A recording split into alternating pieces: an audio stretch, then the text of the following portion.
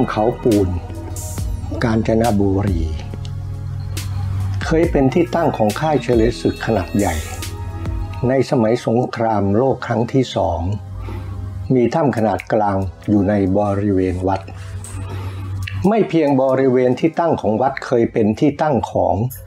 ค่ายเฉลยศึกขนาดใหญ่ในสมัยสงคราม โลกครั้งที่สองเท่านั้น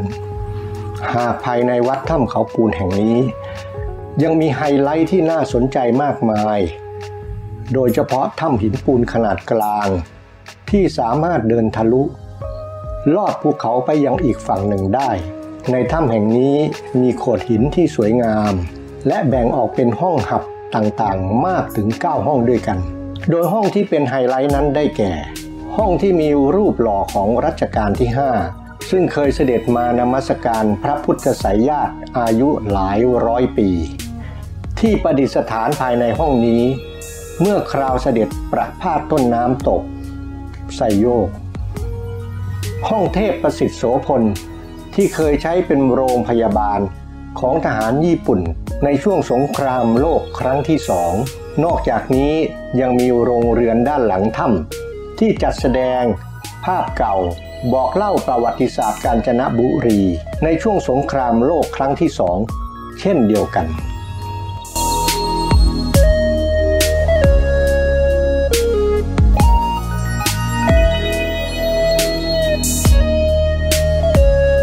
ระบาทสมเด็จพระจุลจอมเกล้าเจ้าอยู่หัวรัชกาลที่ 5 ได้ทรงตัดถึงวัดถ้ำเขาปูนไว้ในพระราชนิพนธ์ที่เกี่ยวกับการเสด็จประพาสต้นไทรโยกสองเล่ม คือ ครั้งที่หนึ่งในกรอนไดอารี่ซึมซาบ พุทธศักราช 2431 คราวที่เสด็จพระราชดำเนินครั้งแรก และได้กล่าวครั้งที่สองกล่าวถึงในนิราชเมืองการ ฉบับเท้าสุพัฒการพักดี เนื้อความที่กล่าวถึงถ้ำเขาปูนพอสังเขปดังนี้วันที่สองขึ้น 13ค่ำเดือนสองที่เขาตกเขาปูนข้ามไป มีถ้ำใหญ่หลวงจีนอยู่ประจำทางไม่ไกล แต่ขึ้นไปบนเขานั้น อยู่ข้างชันหน่อยถึงปากถ้ำที่ช่องอื่นไม้อัดขัดปิดงำเปิดประจำแต่ทรงหน้าเป็นท่าทาง ที่ห้องกลางวางโต๊ะ บูชาตั้ง เป็นที่นั่งที่อยู่ดูกว้างขวาง ลืบข้างซ้ายข้าวของแขวนกองวาง